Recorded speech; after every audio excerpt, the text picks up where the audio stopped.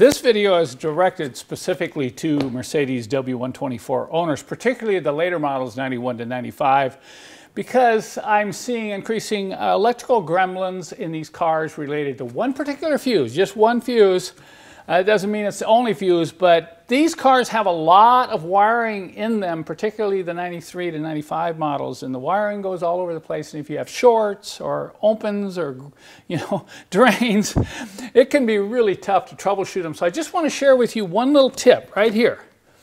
This is the fuse circuit that I believe probably causes more problems than any other one on the W124 chassis, and that's fuse C. Fuse C tends to blow, this tends to short. there are drains that happen through this fuse that can make your battery go dead.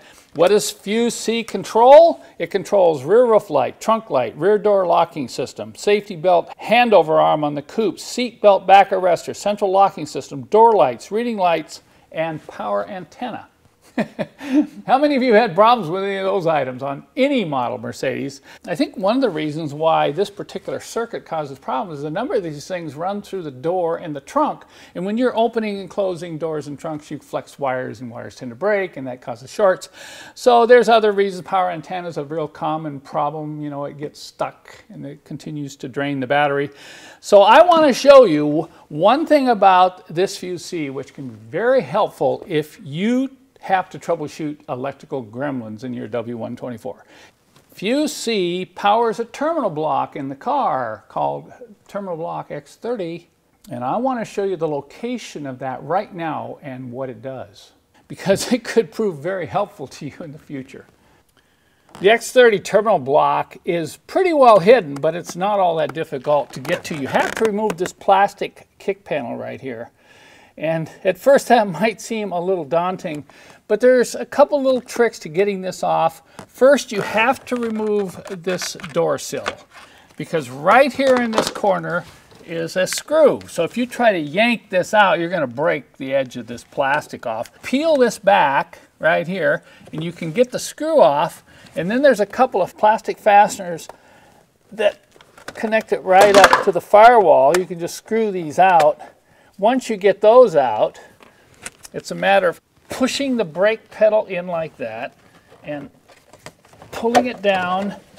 Just be a little gentle. You're going to twist it like this and then pull it right past the brake pedal.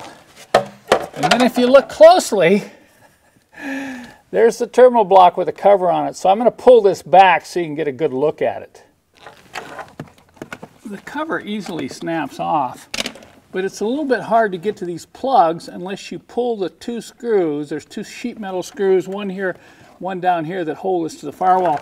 I've already loosened these up, so we'll pull this back and you can get a better idea what this terminal block does. Okay, there it is. You see there's four plugs that come into it. Look at that red and white wire right there. That's a main wire coming from fuse C.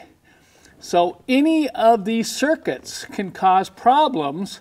And one of the things you can do with this terminal block is start unplugging these one at a time until the short goes away or the drain goes away because this will allow you to isolate the area in the car. These feed multiple things like dome lights, radio, power antenna, seatbelt retractors on the coupes. And so you kind of have to look at the fuse box to see which components are powered by fuse. C, there's the power lead there. And then you can unplug these.